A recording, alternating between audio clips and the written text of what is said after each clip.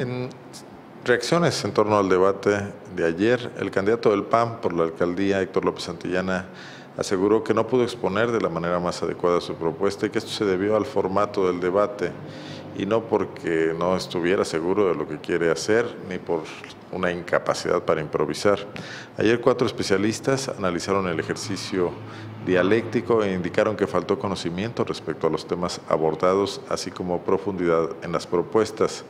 Al respecto, el panista contestó que la configuración del debate le impidió profundizar más en sus, propuestas.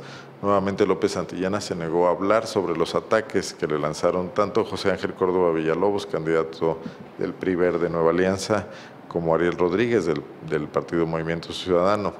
Esta mañana, ante los integrantes del Colegio de Ingenieros Civiles, López Santillana admitió que las propuestas de todos los candidatos son iguales, sin embargo sostuvo que la diferencia se encuentra en las convicciones y en la manera de aplicar esas propuestas.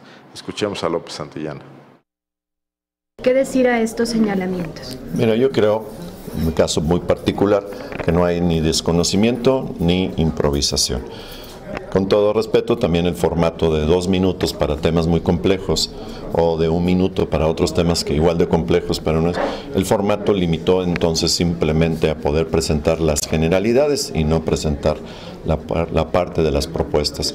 Un, un, formato que si bien por la cantidad de participantes para el espectador, para el auditorio, fue verdaderamente cansado, diría yo hasta tedioso, dos horas 15 minutos, que desafortunadamente a pesar de la inversión del tiempo por estas condiciones, en la forma que se estructuró, permitió profundizar muy poco.